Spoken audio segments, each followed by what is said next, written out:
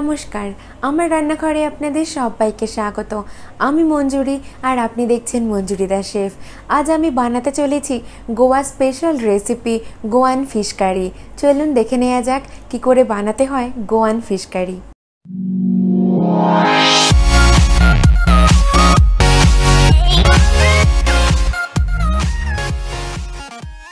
আজ আমাদের recipe Goan fish curry. Goan fish curry বানানোর জন্য আমি নিয়েছি এখানে চার পিস পমফ্রেট মাছ। এটাকে নুন আর হলুদ দিয়ে ম্যারিনেট করে নেব।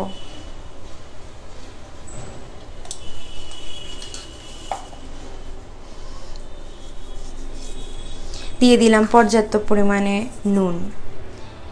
এবার এটাকে একটু ভালোভাবে মাসাজ করে ম্যারিনেট করে নিতে হবে। গোয়ান ফিশ কারি গোয়ার ভীষণ পপুলার রেসিপি। আজ আমি চেষ্টা করছি একদম অথেন্টিক ওয়েতে গোয়ান ফিশ কারি করে দেখাতে। পমফ্রেট মাছ এমনি খুব সফট, খুব বেশিক্ষণ ম্যারিনেট করে রাখবার দরকার নেই, দশ মিনিট এনাফ এরপর আমরা মশলাটার প্রিপেয়ার করব। দশ মিনিট ম্যারিনেট করে রেখে দেবো। মশলাটা রেডি করার জন্য আমি নিয়ে নিয়েছি একটা মিক্সিং জার এর মধ্যে দিয়ে দিচ্ছি হাফ কাপ পরিমাণে ফ্রেশ নারকেল। দিচ্ছি তিন চারটে রসুন কোয়া। খুব সামান্য আদা।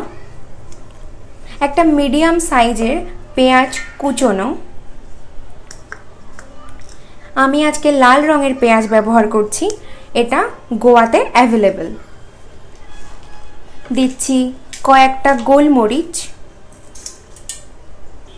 গোটা জিরে, এক চামচ গোটা ধনে, গরম জলে ভিজিয়ে রেখেছি কিছু শুকনো লঙ্কা, সেগুলো দিয়ে দিচ্ছি আর দিচ্ছি তেঁতুলের পাল। দিচ্ছি হাফ টিস্পুন লঙ্কার গুঁড়ো, ওয়ান টিস্পুন হলুদ গুঁড়ো। এবার এটাকে গ্রাইন্ড করে নেব। রেডি হয়ে গেছে আমাদের মশলার মিক্সচার আমি এই মিক্সচারটাকে একটা বোলের মধ্যে ট্রান্সফার করে দিচ্ছি। গোয়ান ফিশ কারির একদম অথেন্টিক কালার এসছে আমাদের এই মশলায়। এই মশলার পেস্টটা তৈরি করতে আমার সামান্য পরিমাণে জল লেগেছে। এবার চলে যাব রান্নায়। গোয়ান ফিশ কারি বানানোর জন্য আমি এরকম একটা ননস্টিকের প্যান বসিয়ে নিয়েছি। এর মধ্যে দিয়ে দিচ্ছি মশলা। এই রান্নার বিশেষত্ব হলো এখানে তেল ব্যবহার হয় না।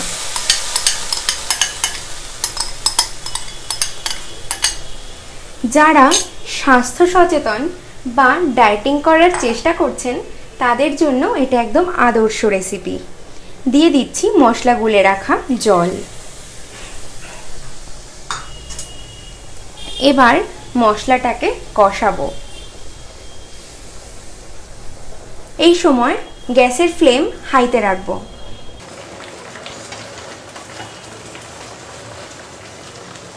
গ্যাস যেহেতু হাই ফ্লেমে আছে, তাই এই সময় মশলাটাকে অনবরত নাড়তে হবে, যেন মশলা পুড়ে না যায়।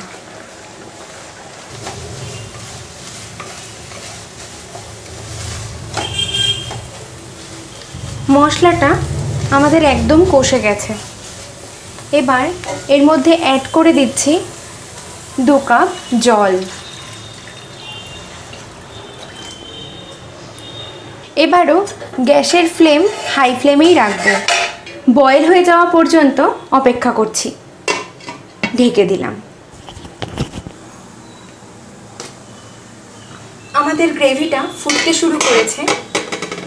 এই সময় এর মধ্যে দিয়ে দিচ্ছি নুন, হলুদ মাখিয়ে রাখা পমফ্রেট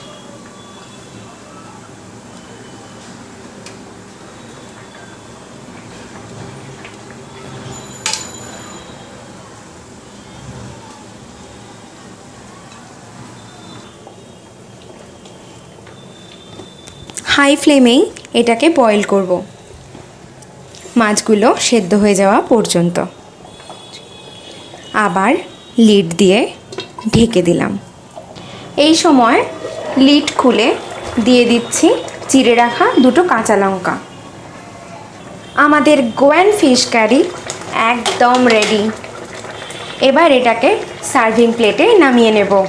গ্যাস অফ করে দিলাম।